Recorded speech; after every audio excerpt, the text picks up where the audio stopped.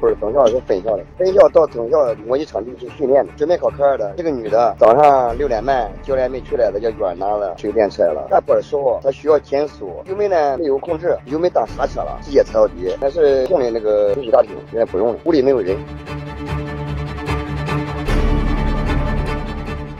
已经处理了呀，再输了，人家送到医院，人呢没有没什么大事，在保险店了，有气囊，人没事，车报废了。这不是我车，这是我同事的，肯定是都是教练出呀，责任肯定是教练的呀，学员是没有责任的呀。练车时候必须教练跟着呀，肯定教练不会车顶嘛，要搁车顶子就会弄踩砸了。